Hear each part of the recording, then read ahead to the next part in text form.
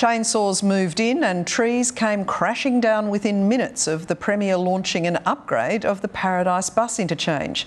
It'll result in more than 800 parking spaces, but some nearby residents are furious at what's being lost. It didn't take long for the shrill sound to start. They paved paradise and put up a parking lot.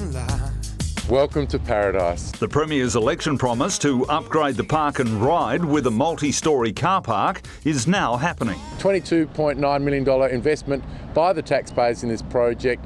It's part of a $12.9 billion infrastructure pipeline of work and thousands of jobs. But dozens of trees here will be cut down with a promise of extensive new plantings. To really uh, enliven and bring new vegetation to this site.